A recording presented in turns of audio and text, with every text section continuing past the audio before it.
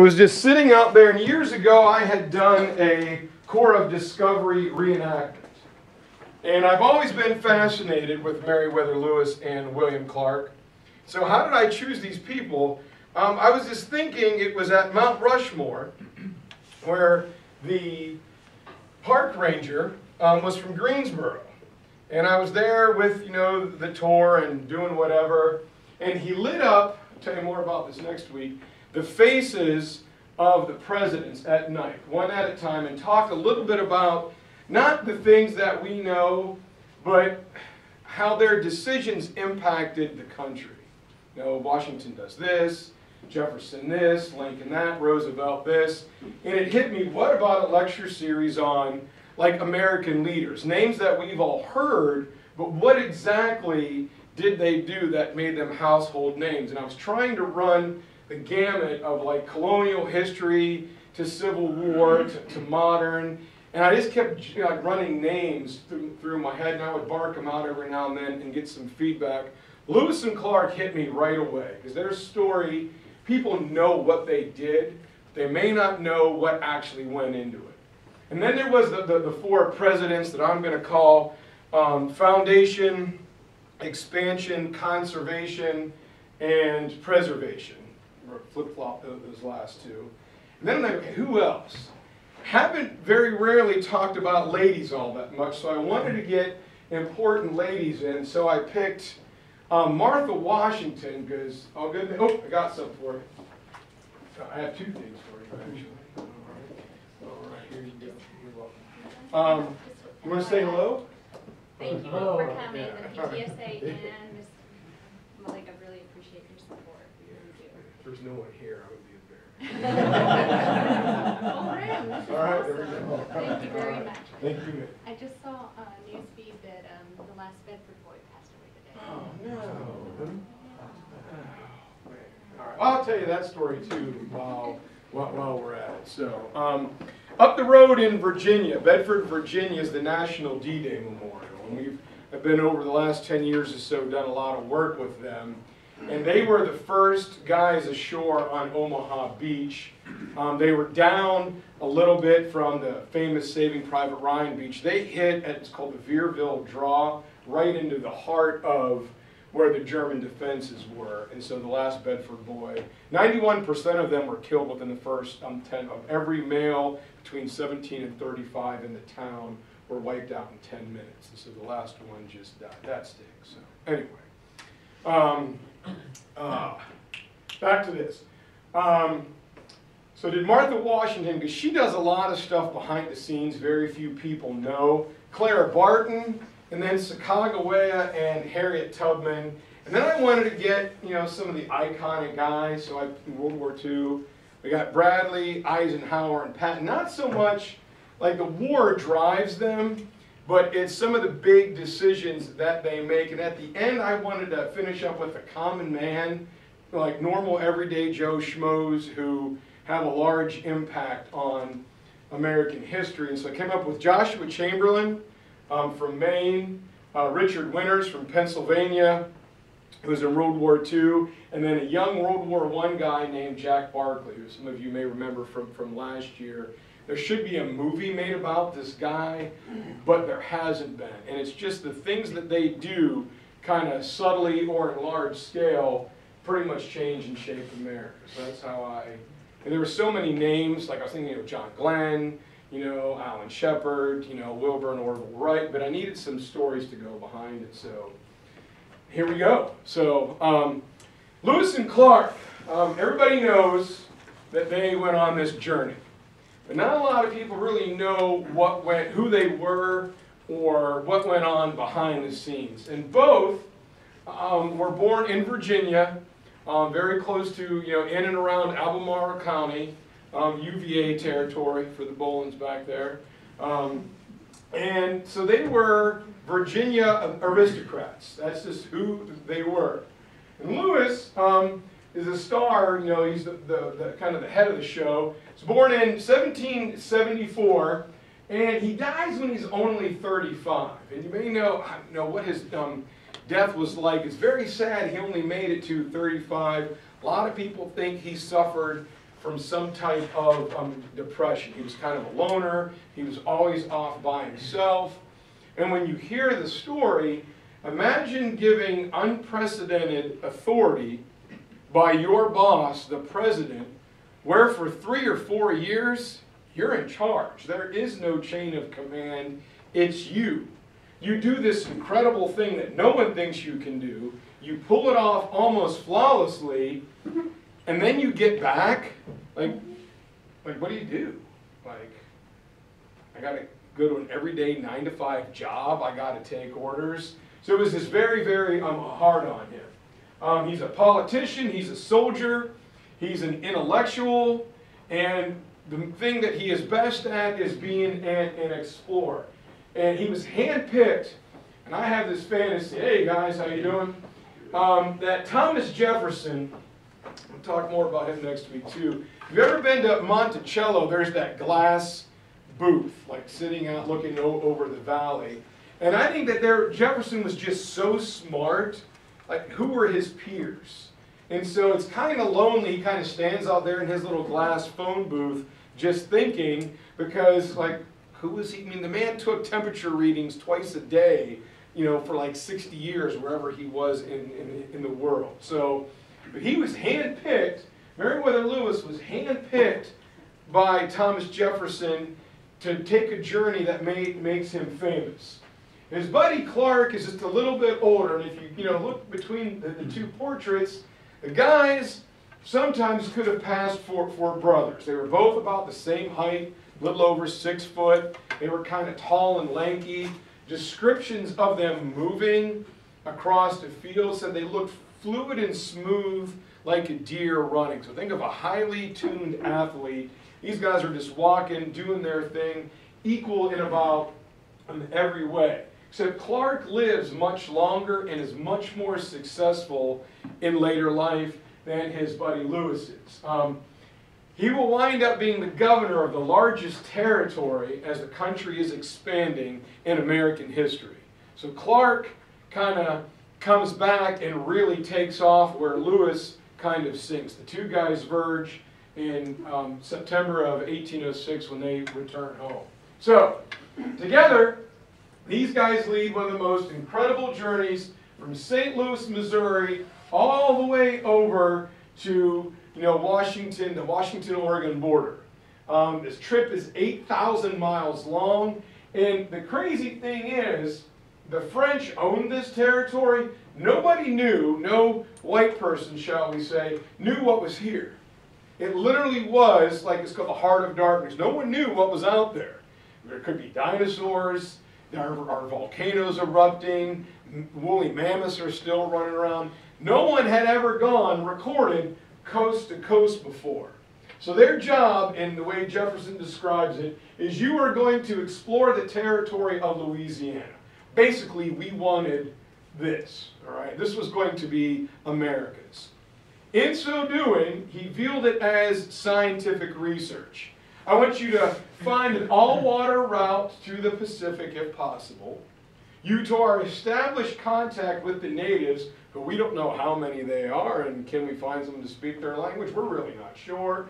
While you're doing that, you are going to collect scientific data on all the flora and fauna, all the plants and animals you see, catalog them, research them, and send them back to me. This is what your task is. You're not just going out there on a hunting trip. You have to do actual work daily. So Lewis, as a young boy, you can see his life being shaped early on. His dad dies when he's around six or, or seven. Now, they were very wealthy, had a big plantation in a place called Locust Hill. And his mom quickly re remarries. It was kind of like an uncle slash friend. And the family is going to move to Georgia for several years.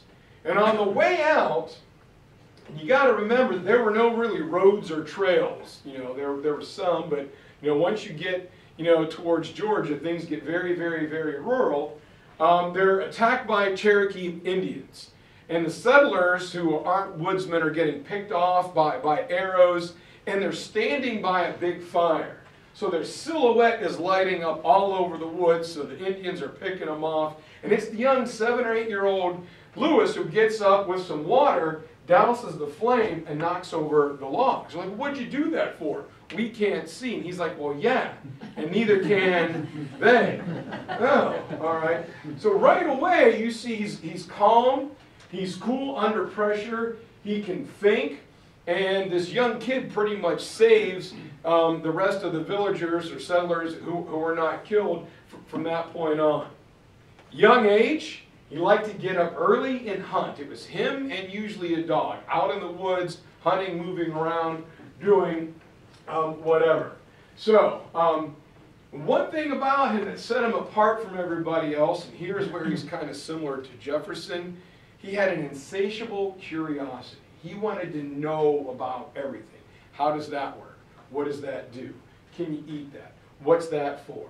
And he spent a lot of time with his mom and a lot of the older like midways and midwives, excuse me, and doctors of the area, learning about different plants, what can make you sick, what can you eat, what can you use for medicine, making drawings, charting animals moving around, all this stuff that we walk, you know, through, you know, Duke Gardens, we're like, yeah, okay, it's a nice bush and some pretty tulips, and you know, you know, we don't really know why why um, everything ticks. So at the age of 13, they decide it's time for him to go back and get a formal education in Virginia. Because if you're going to get educated, it's got to be in Virginia.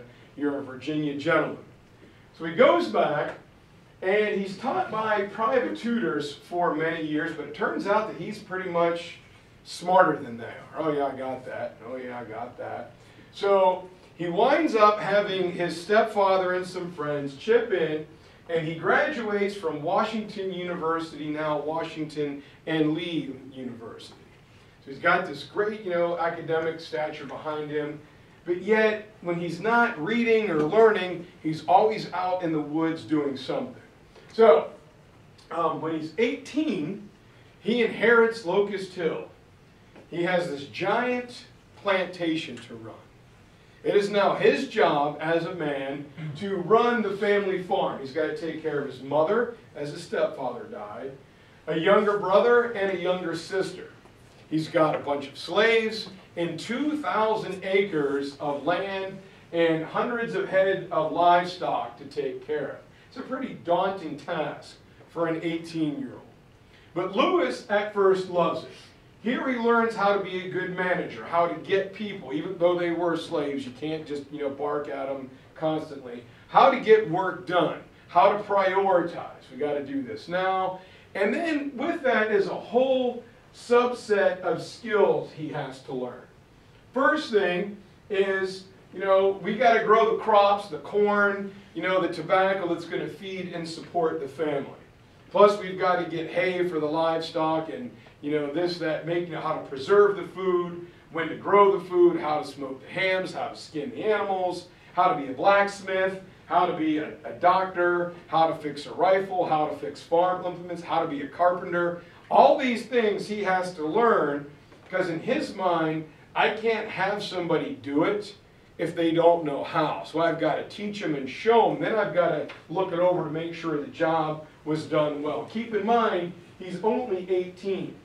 And his passion and his hobby this time, at this time, and he was looking for ways to conserve and renew the soil. Is it crop rotation?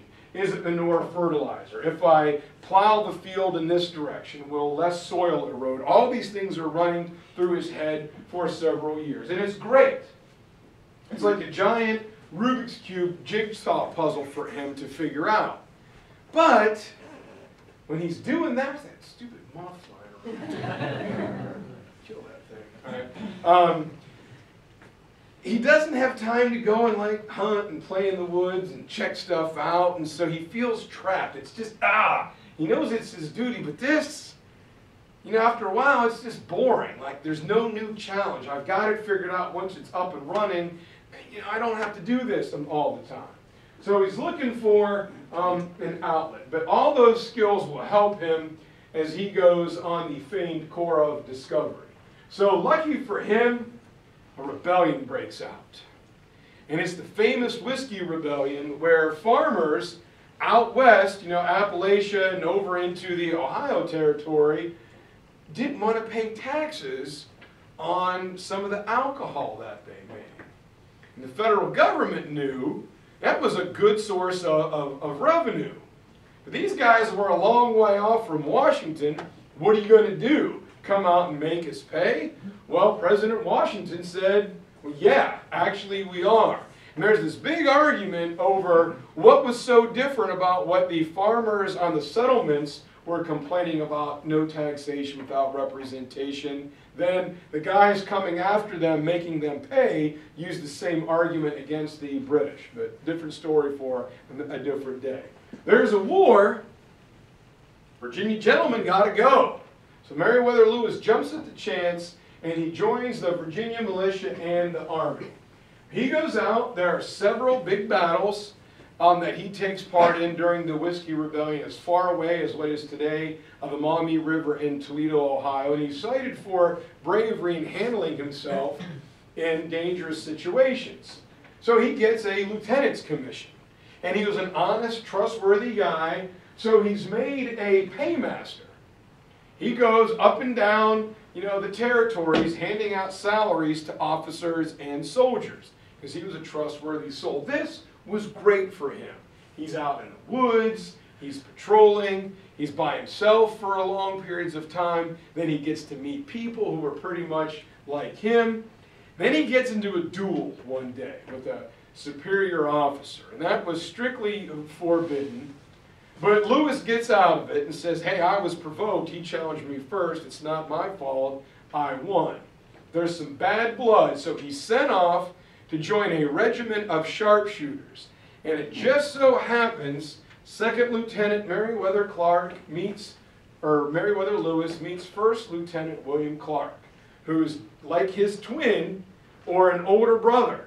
And the two hit it off almost immediately and they have this lifelong friendship at this point. So we'll take a break. Um, and this was an old Russell painting. I couldn't get it to come in any better. I'm so mad. The famous um, Western painter. It's just the two guys looking the same, standing on a mountaintop overlooking a valley, you know, probably somewhere in North Dakota or, or Utah. But apologize for not getting it clear. Um, but nothing we can do about that now. Um, because of his honesty and the way he conducts himself, Meriwether Lewis had traveled several times to Washington, and the family social blue blood network of Virginia kicks in, and he meets Thomas Jefferson. I heard about you, young man. You're down there, Albemarle County, not too far from me. You're really smart. Yes, sir. Yes, sir. You did this, you did that. Boom, got it. there we go. All right. All right. Um, and so he's like, you know, I need someone just like you.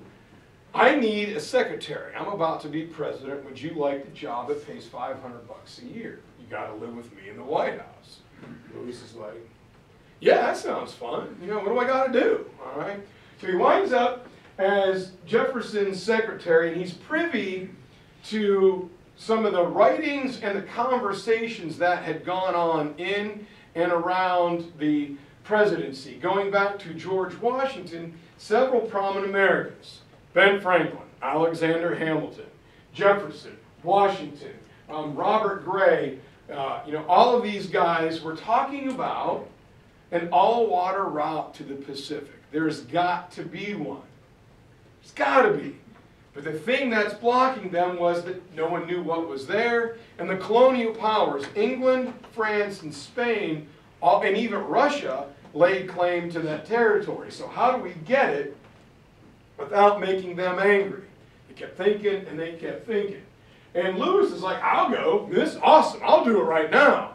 No, you're too young, kid. Shut your mouth. You know, do your job. But Lewis is always, always thinking about this. And while working for the president, Jefferson finds on a, on a daily basis probably the closest thing to an intellectual equal he will have. Whatever he learned and taught Lewis, Lewis picked it up immediately. Oh, it's awesome. Did you think about this? So it stopped being work so much, and the two were philosophizing and thinking stuff up and making plans like, you know, two buddies at a, you know, at a, at a camp somewhere or a sleepover, figuring all this stuff out. When it comes to Louisiana, there are a couple problems. Earlier, the government dispatched Andre Michaux, uh, those French guys. He was going to be a loyal American. He was a French, you know, fur trapper, and he was going to check the country out, and he, you know, knew some Indian languages. He was going to map the Louisiana territory for the United States, and since he was French, it was okay with the French government. Well, he doesn't get past Pittsburgh when we find out, President finds out, that he's really a French agent. They wanted us to pay for the expedition so France could take the Louisiana, Louisiana territory. So Michaux is captured. All right. And, you know, you can't really blame Andre. If I was French and, or I was American, the French sent me off to scout some stuff out, I probably wouldn't care and give it to America, but different story. So he's busted. So we lose that opportunity. Lewis asked for, I'll go, I'll go, I'll go. Uh, I don't know. What are your skills? What are your talents? You, you got part of the puzzle, but you're just, you're just too young. No, really, I can do this. I can do this. And Jefferson starts to think, huh, keep my eye on Lewis. Maybe, maybe he can go on the expedition. He can't lead it, but maybe I'll send it. And so now Lewis starts to be assigned some more difficult tasks. It's the famous Federalist, anti-Federalist battle in the formative American government. And one of the things the Federalists wanted was the Army roster scaled down. They especially wanted to get rid of a lot of anti-Federalist officers. Well, Jefferson assigns that task to Lewis. Look, you know most of these guys. You were in the Army. You traveled up and down. You figure out who we should keep and who we should get rid of. Now remember, he was just a first or second lieutenant. So you're asking a junior officer to rate and rank and call the list of superiors. Boy, that's going to make a lot of guys, whoever gets the axe is going to be, they're going to be hot. They're going to be angry. But Lewis goes about it in a very efficient way. And every guy he got rid of, he had a very clear, logical explanation. Maybe it's age, you know, bad leadership, you were wounded here, maybe we could move you here, or you could retire type things. And when he's done, the parties in Congress are ready to go to war over this. They look at his list and like, oh yeah, yeah, gotta get rid of him, and yeah, gotta get rid of him, and yeah, he stinks too. And when they're done, even these bitter enemies like Jefferson and Alexander Hamilton are like, well, we really nothing to say here. Good job, Meriwether Lewis. So he gains know, organizational experience, draws upon his personal knowledge and his leadership, and shows a talent to balance the scales. It wasn't just all one side or the other guys getting canned. It was an, an even balance. So at this point, Jefferson begins to tutor him. Everything he could possibly think of. Um, they go to Monticello for weeks at a time, and the Monticello Library was vast, but it supposedly contained the largest section of geography about North America in the world at the time. Memorize these, figure these out. What do you have? And Lewis just eats this up. I mean, he just, it's just insatiable. He's now turned loose. He's sent to Philadelphia to study with the best doctor we had, a guy named Benjamin Rush, who invented a medicinal pill, an elixir guaranteed to purge and cure any illness, made up of mostly mercury and gunpowder. People actually take those. Watch that. Um, and a guy named Andrew Ellicott, who he learned how to use a sextant, a compass. They would go out into the woods at night. They would go out, you know, on the river and um, in the bay and learn how to use all these navigational implements. And when he was done, and I think Jefferson in his mind, you know, knew what he was doing this. I mean, he surely did. And he goes to Congress and he announces, my secretary, Meriwether Lewis, as a scholar and a woodsman, has no equal in this country. He, this, these are his credentials, and he has, I love this line, he has courage undaunted. Nothing scares this guy, nothing stops him. You give him a task, he will get it done. To me, it seems, in Jefferson's words, God put him on this earth for this purpose to explore the Louisiana Territory. I'm going to send Lewis, not as a bystander or as a second in command. Kid's going to lead the expedition. Well, he's 27. Yeah. Look, you can't send him out there. I mean, well, why not? Who else can do all the things that he can do? Uh, Okay. All right. And so one of the things the president does, nice little shot of Monticello there, you know, it's where, just, you know, always fascinates me. These are like some big shutters where the president's bedroom is, and people would walk up and gawk in there and like watch him read. I'm like, can you not leave the man alone? I'm like, whatever. But anyway, so they hole up at Monticello, they do all their you know, reading and work, and um, the plan is put together. Now, here's a big test. Jefferson says, Meriwether, you write up what you think you'll need, and you let me know, and I'll see if we can pay for it. All right, here we go. So he goes shopping. He's also told to pick his team. Pick who you want to go with you to explore the West. Remember, your main goal is to find, and this is kind of, you know, Jefferson's gray area, the quickest route or an all-water route, preferably to the Pacific, and collect this scientific data. So Lewis is picking his team and what he thinks he's going to need and is given carte blanche to an, an extent. And Jefferson, the wily politician and genius he is, decides we're not going to hide this. I'm going to apply to France and Spain for passports for my guys to make this trip. And I'll tell England too, in case they run into fur trappers, this is a scientific expedition, and we are going to share this material with you. So he's Jefferson is clearly veiling the military intent of our Corps of Discovery with it's all about science and I need passports. I'm not hiding it. I'm not just sending them. I'm asking your permission, but my guys are going to go. When he's done, and this is just mind-boggling, he compiles a list, says he's going to need $2,500 for all his supplies, and $696 in gifts for the Indians. So figure for $3,500, you're going to go all the way out west and all the way back. And Congress says, God, that's, that's just way too much money.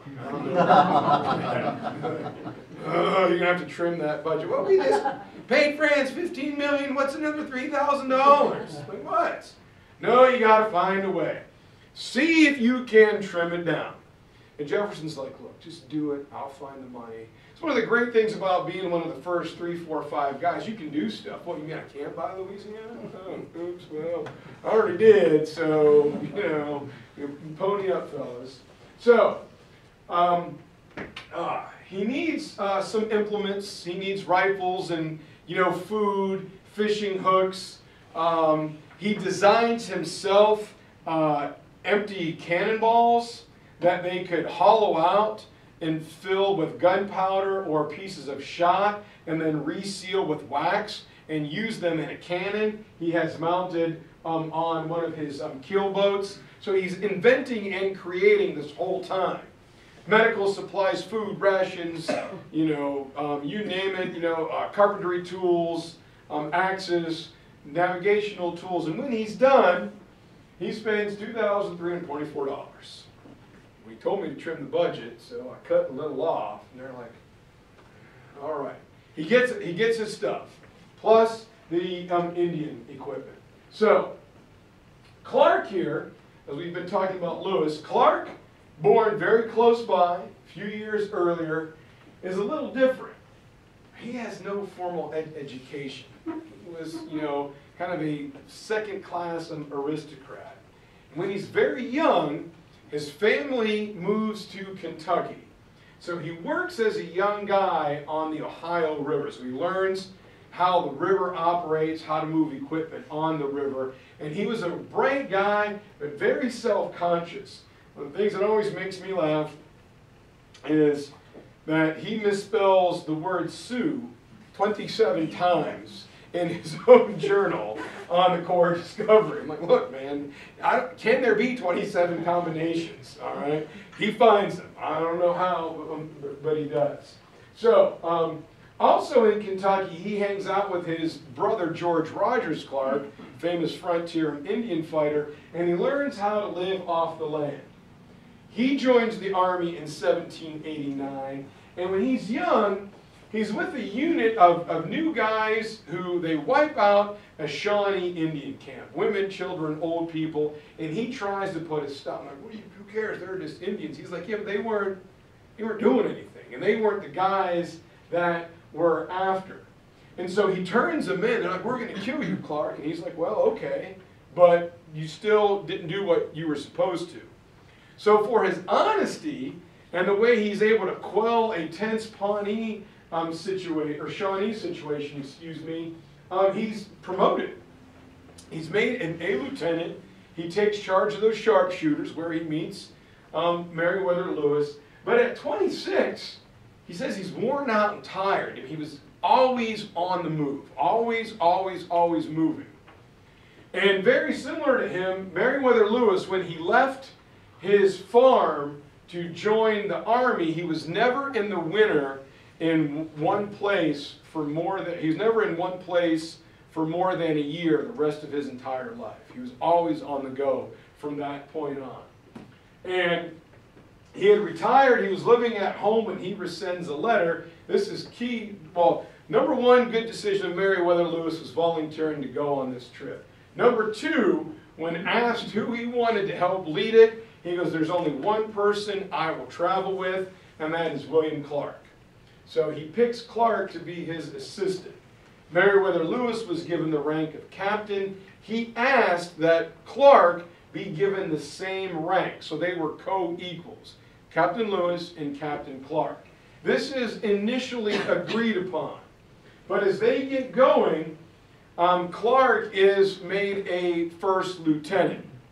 Lewis says that's garbage. You will refer to him as captain. He is an equal to me. I'll deal with this when we return.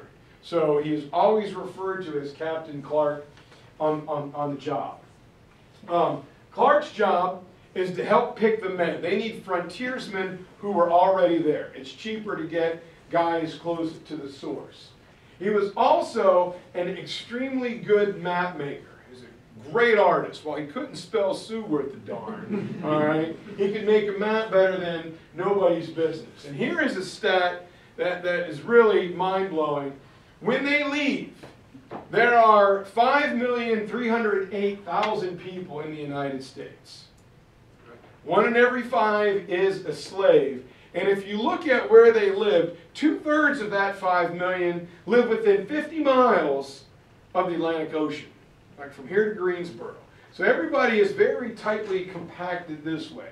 Once they head west, there's nobody there, right? If you go to, we are talking about Wyoming before we started, you still, nicest bathrooms of any state in the United States, Wyoming.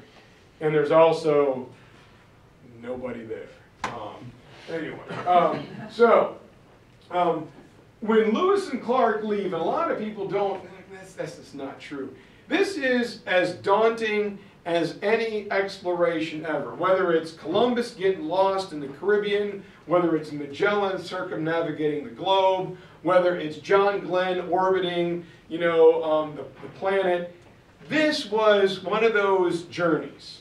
It was dangerous, it was long, it was like traveling to the moon. Think of Apollo 13. Once they're out there, something goes wrong, where are they getting help? All they have are the guys with them and their resources and skills and their knowledge. They can't cry for help. They can't call for an extract. Everybody there, they either don't know, and a lot of people don't want them there. Plus, what are the physical obstacles? What does the land and the terrain have in store for them?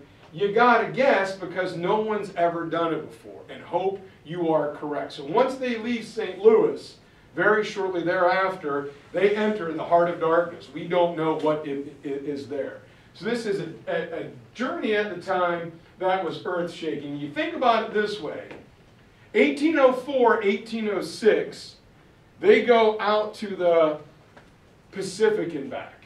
Before them, nobody knew what was there. Within 35, 40 years of their return to St. Louis, we're building the Transcontinental Railroad. So that's how fast time evolved from guys slogging their way up a deep river to building mechanical power railroad from coast to coast. You know, it was just that fast. But no one, they didn't know um, what was there. So here's where everybody lives. Um, these are states, and these are territories. Up in here, this is contested territory. Contested territory. England wanted this bad. What is today Minnesota? So they had to stay out of there. And if you look at the map now, if they wanted a quicker all-water route to the Pacific, they could have kept going up in here, but it was Canada. So they're forced to curve way down here and go through Montana. But you got Louisiana, France still worried about it, even though they just sold it. Spain is in the game. Russia wanted um, Alaska for their whaling operations, and there's the British involved. So when it comes down to it, this is a race to beat the colonial powers to the punch. Jefferson figured if we learn what's out here and we claim this, then we're going to get everything else. So how do we beat these guys to the punch? It depends upon 33 guys. Eventually it'll be 36 people as we'll pick up three um, along the way. When they leave, there was a tearful um, goodbye as nobody thought they were going to, you know, all right, see you in a couple, woo, all right. You know, can I have your rifle if you don't make it back? Because, you know, um, like old Jeremiah Johnson stuff. So, anyway, nobody thought they were, they were going to do it. They're walking upriver. Now, see some pictures later, you know, they're sticking poles in the ground and walking forward on a plank and then sticking the pole back in the ground and pushing the keel boat up the river. And their pirogues or canoes, they're digging upstream.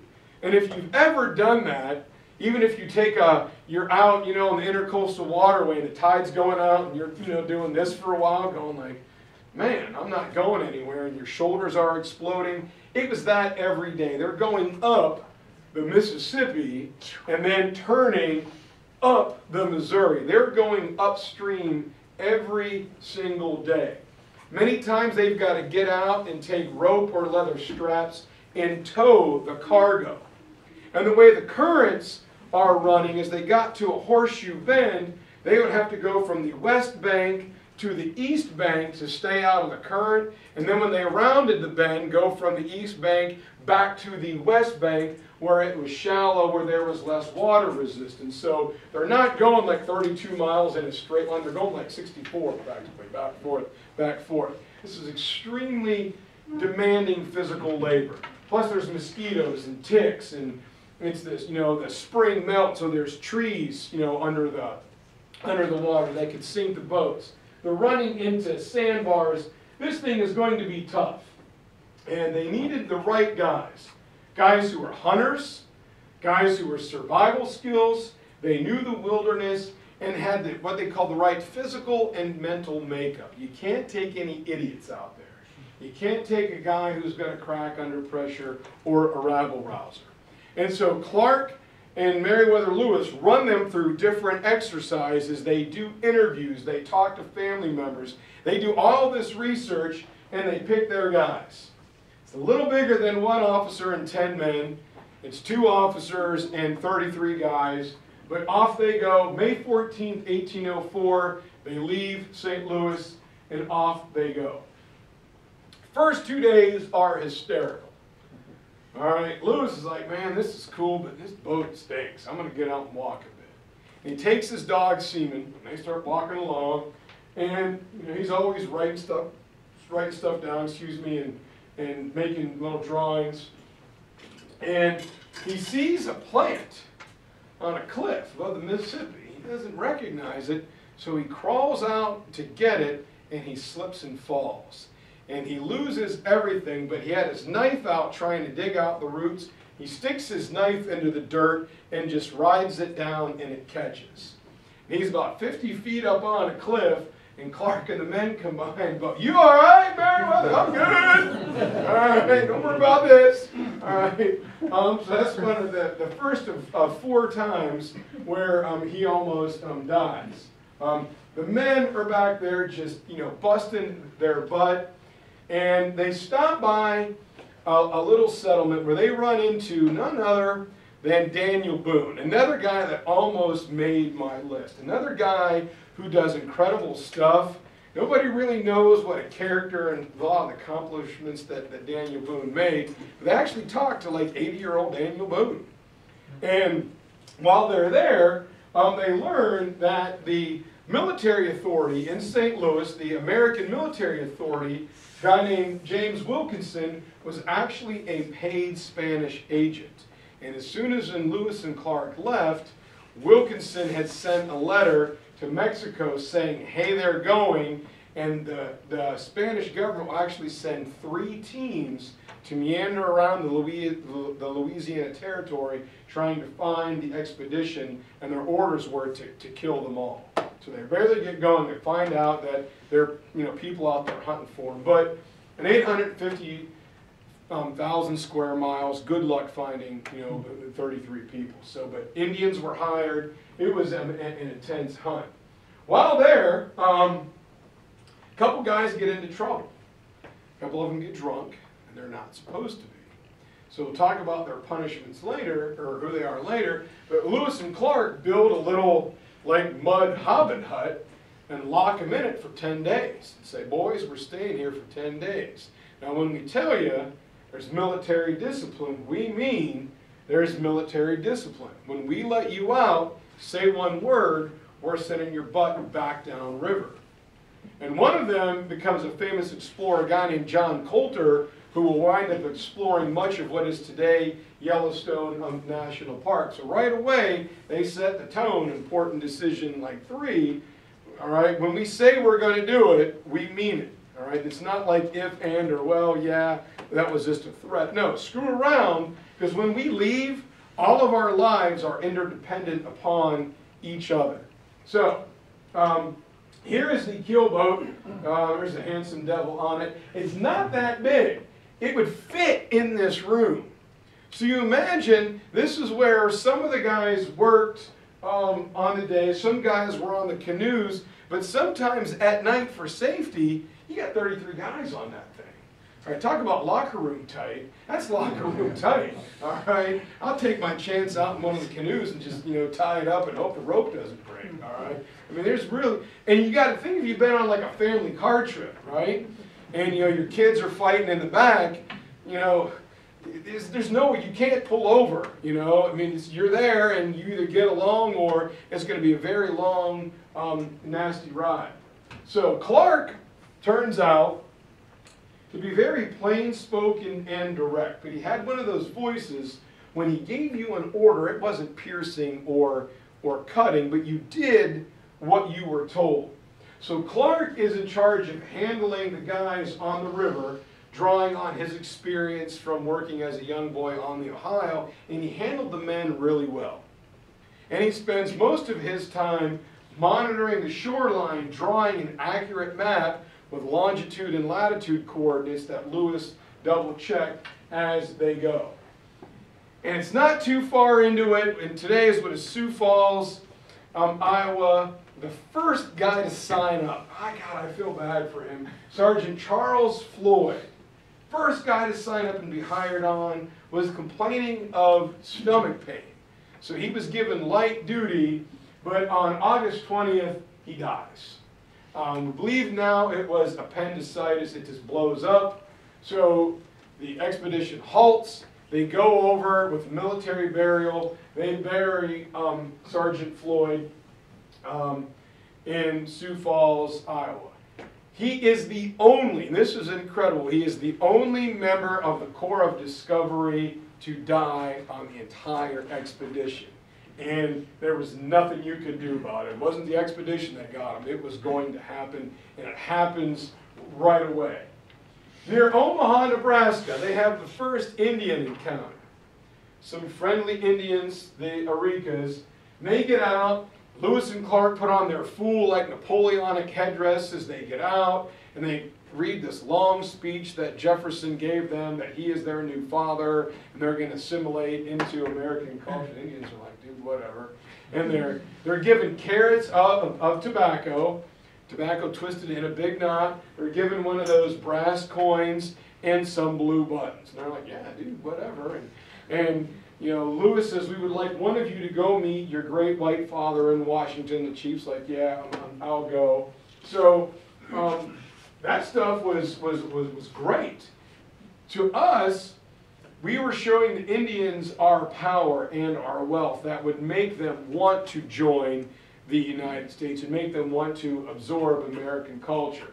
One of the things that the guys um, took along was an air rifle. It was a French-made um, air rifle, where it's like almost like the old pump-action BB and pellet guns. You pumped up the air chamber, chamber in the stock, and it was a gun that made no noise. And so while they're having these discussions, you know, Clark would pop out the air gun and shoot like a bird or a rabbit, and the thing would, would be dead, and he would go pick it up, and he was like, ooh, ah, they've got like, you know, magic, you know, like, yeah, put the little gun, you know, on the thing, you know, no noise, no silent. So, um, showing what we had. This is, in the picture, it looks a lot bigger than what it is. It looks like it's like the Washington Monument. It's not. Um, but this is, believe it or not, this is now um, Private Floyd's, or Sergeant Floyd's grave marker. This is his burial site along the Mississippi River. And then this one is kind of, it, it's um, Lewis, always up high on the mountains. Some people say he didn't want to get down there and do the back-breaking labor, so he was always walking on the cliffs. He was a captain. He wasn't going to be doing that anyway.